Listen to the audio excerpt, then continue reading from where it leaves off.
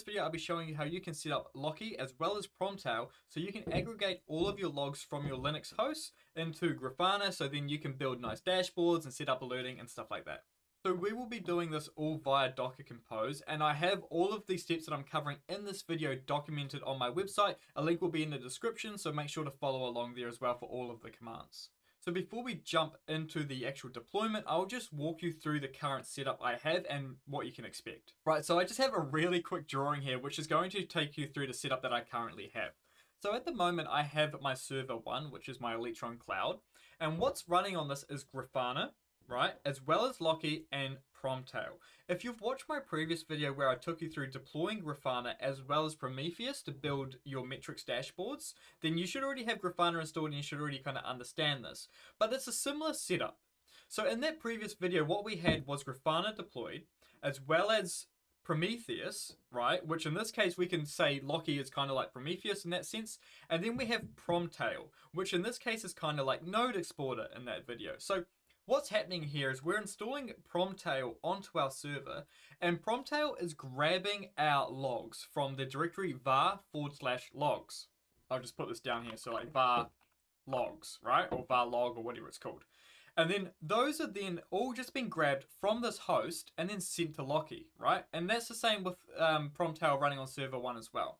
All of those logs are being sent to Loki, and then Loki is then linked to Grafana as a data source, and then you can build the nice dashboards like you were doing with the previous video. Now, again, if you don't have Grafana installed at this point and you're wanting to go through this, make sure to watch that video first. That will get you into a good point where then you can just follow along and set up Loki and Promtail. So I currently have Loki and Promtail all set up, right? We've got the logs coming in.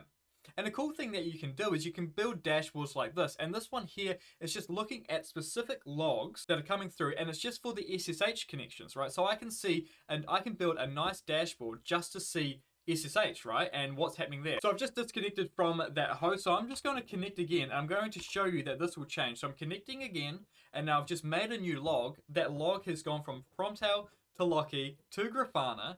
And then if I give it a bit of a refresh, we can now see a new SSH connection has happened. So you now have like a nice dashboard where you can just see all the SSH connections that are happening to your server and you can see them here, right? You can see the connections that I'm doing. And you could have this on like an auto. So this is just auto refreshing and you could have this somewhere nice and where you can just see the live update, right?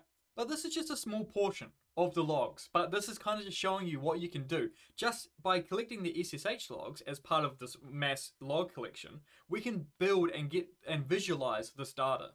But if I come back here and if we go to explore, we can now look at all of these logs, right? So you can build your custom dashboards however you like.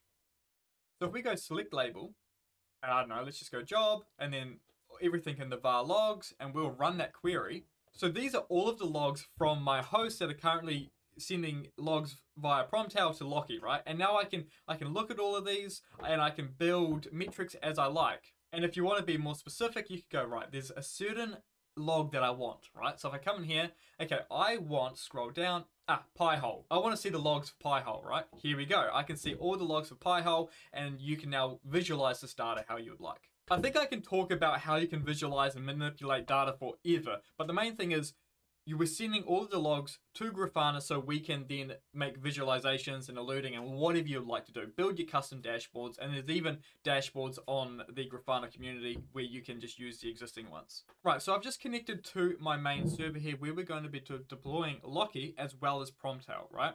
So we're going to be deploying Loki where it's going to store all the logs, but I'm also deploying Promtail on this because I want to grab the logs from this server as well. So what we'll do is we'll make a directory and we'll call this Loki and we'll change directory into this, so into Loki. And if we do an ls, we have nothing in here, right? Nice and empty. Now coming to my documentation, again, a link for this is in the description. We've got a Docker Compose file here, so we can just grab this. And I'll cover what's happening uh, in a sec. So now we can just do a nano docker compose.yaml and hit enter.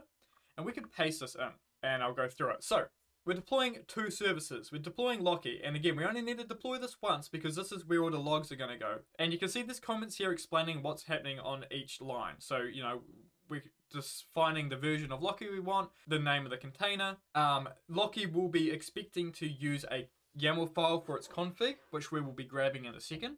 And you can see where we're mounting it within the Loki container. This will be running on port 3100. And you can see that the container is going to run a command where it's going to say, hey, look, the config file is located in this directory. And that is true because that's the directory inside of the container on this line. So that's fine. And then we're also deploying Promtail so we can grab the logs. And you can see here that this will also require a config file, which we will grab in a second. And you can see here that we will be mounting the var log directory from our host into the container so we can grab the logs from the host and feed it through, right? And we're saying that this depends on Loki. Just for this one, it does, but when we're deploying uh, Promtail on our other services, it won't depend on Loki because Loki will already be running. And then you can see here that the command file, again, it's, it's relying on that config file, just as the Loki service was doing. So we can save this, and if we do an ls, we now see we have a Docker Compose file. Don't run this yet, we've got a couple of things we need to grab. Coming down, we can see that we need to grab those config files. So these are just coming straight from the official Grafana um, GitHub, right? So I'm just grabbing them from there. And a link to the official documentation will also be in the description if you want to have a look at that as well. So I'm going to grab these. So I can just click the copy here. Back to the server, paste and hit enter. And we're going to grab those config files. By doing ls, we can see we now have Loki config and prom, uh, Promtail config. So you can see here, this is just a configuration for Loki, and we don't actually need to change any of this if you don't want to, right? We can leave it all as how it is. So we can close down to there and we can look at the Promtail as well.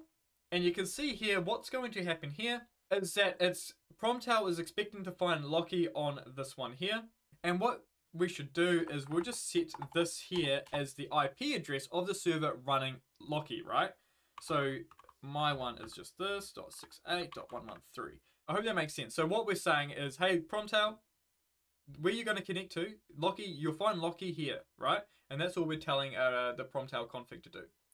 Now we're setting up a job here, which is just called job name system. And we're just going to be using the local host. And we are setting up a label for this job called var log. So that's what will be listed under when we're searching for it in Grafana. This will all make sense in a second when we actually uh, go to set this up.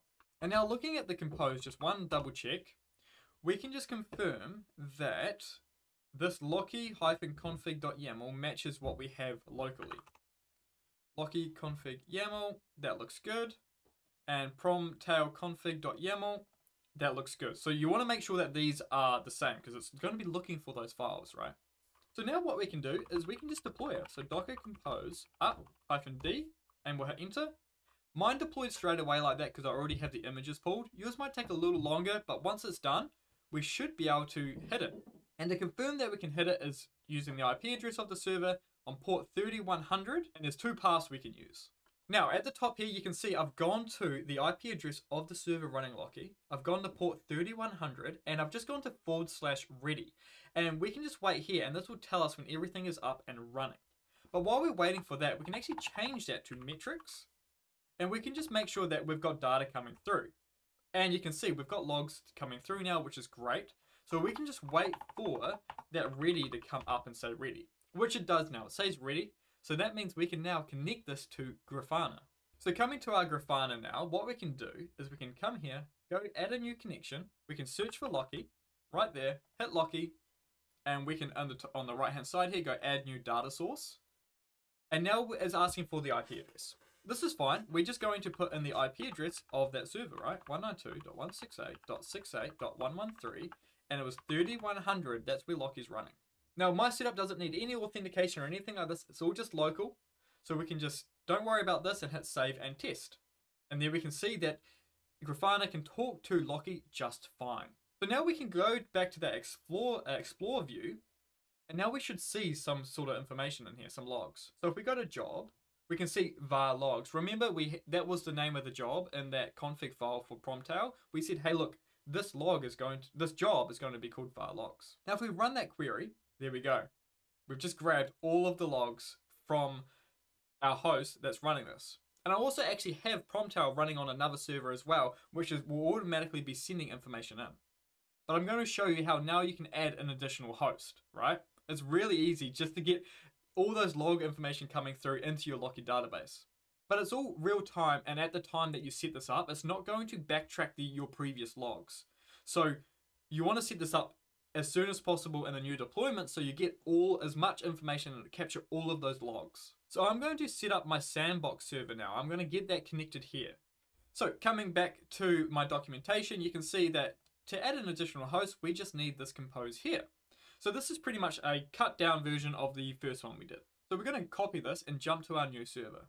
So what we're going to do, I'm now on my server. I'm going to change directory into Docker. There we go. I'm going to make a directory and we'll call this promtail. We'll change directory into promtail. Do an ls, there's nothing in there. We'll clear the screen. And now we'll make that Docker compose. And we can paste it in. Awesome. So we shouldn't have to make any changes at all, but we do need to bring that config file down. So let's save this, go back to our documentation, and we need this bottom line, right? That's just a uh, promtail config. Paste that in, hit enter, do an ls. We now have our compose and our promtail config. And the config again is just set up to pull the var log directory, nothing else. You can set this up to pull whatever logs you like, right? But I'm just showing you the, the basics. You can have this set up to Docker, pulling specific Docker logs, all of that cool stuff. But at the moment, we're just focusing on var log. So I do need to edit that promtail config because we need to tell it, you know, where the Loki server is. So I do that, 168.68.113, save that, great, and now we can spin this bad boy up. So docker compose up, hyphen D, and hit enter. It's going to pull that promtail image. There we go. It's all up and running, and we can just do a docker compose logs just to make sure that it's happy. Great. Now, if your config, uh, if there's any issues with your config, you won't get all these logs. It will say something about it couldn't find the config file or there was an issue with it, but this looks healthy. So let's clear that, and now let's go back to Grafana. But just quickly, before we go back to Grafana, I just want to point out, we don't need to do anything on the Loki side for this new information. What's happening here is that Promtail works off a, a push, right? So Promtail pushes the logs to Loki. Loki isn't scraping like what Prometheus does with Node Exporter. Uh, this one is different. So Prom, you, you just tell Promtail where to push the lo logs to. There's no authentication with Loki uh, that I have set up, so Loki will just grab these logs, right? So that's why it makes it so easy. Deploy Promtail, tell it where to send the logs, done. So coming back here, let's see if we have any sandbox uh, logs now. Run query. There we go. Look at that, Electron Sandbox. We now have uh, Electron Sandbox logs coming through as well. And one last thing, uh, just as a pure example, let's say you're wanting to build a custom dashboard for your SSH connections, like that dashboard I was showing you, but you'd rather do it yourself. You could come down the file name, and then we know that the SSH is under auth log, right? And then we could put in here SSHD, I believe it is. Not sushi. I love that autocorrect though. Uh, there we go. And we can run that query and now we can get all the SSHD connections and then you can build dashboards off of this information, right? But that's it for this video. I've shown you how you can set up Loki, Promtail and set up an additional host with Promtail as well, as well as looking at building dashboards and just how you can look at the data that you have coming through. Just a big thank you for everyone for all the support. It's been awesome. Again, jump to the Discord or YouTube comments if you have any questions or if you need any help. Discord is probably the easier option if you do need help. Um, make sure to grab some merch if, if you can. Um, the cool logo on the back and whatnot. It helps me out heaps and it's just a way to show support as well, as well as just subscribing and liking the video. Anyway, thank you so much. This has been Loki and Promtail and I'll see you in the next video. Goodbye.